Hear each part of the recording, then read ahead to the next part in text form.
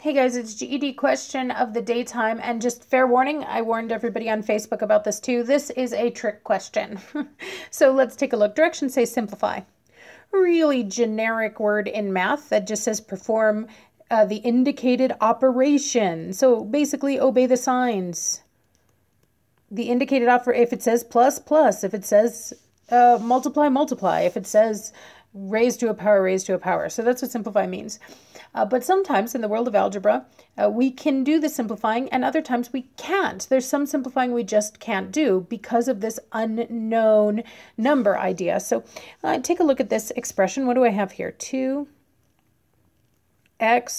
plus 5. Now, there are two operations that are indicated by this expression. One of them is really obvious. I see a plus sign. Hello, there's addition going on.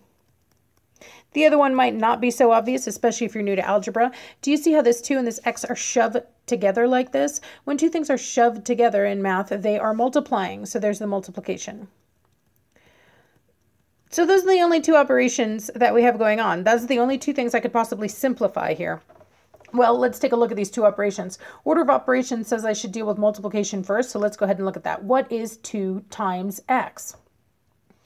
Well, how the heck am I supposed to know what 2 times x is? x is a mystery. It's some number I don't know. x could be 7, it could be negative 3, it could be 45 halves.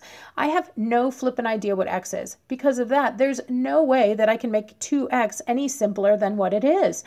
I don't know if it it comes to 14 or 43. There's just no way to know. And so I cannot do that multiplication. Okay, nothing I can do there. It's as simple as it's going to get the 2x. So let's consider the addition one thing super duper duper important that you need to know in algebra that you need to know all the time really is you can only add and subtract the same kind of things. In algebra we call those things like terms write this down somewhere.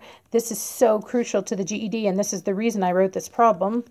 I want students to understand this. You can only add and subtract like terms. Like terms have the same variable portion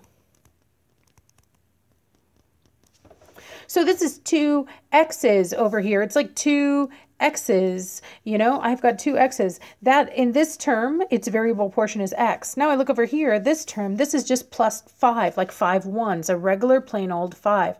It's not a number of x's, it's just five whole things. And so because these two things are not like, they don't have the same variable, I cannot add them. Um, there is nothing I can do. This is the final answer. There is nothing to simplify here, and that's why I say this was a trick question. But I really wanted to do this because I've seen so many students who get an answer like this and are not satisfied with it. And then they do a bunch of nonsense, okay, uh, trying to do that addition which can't be done.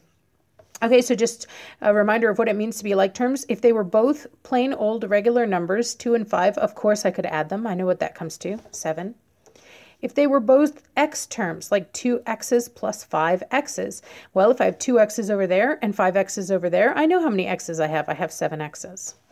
But because these are not like terms, this one is an x term, and this one is a constant term, a plain old regular number. Since they're not like, I cannot do this addition either. So there's nothing to simplify here. Final answer is 2x plus 5. This is a totally legit answer in the world of algebra. Great. If you have any questions about this or any other GED math topic, be sure to drop it in the comments and I'll do my best to answer it.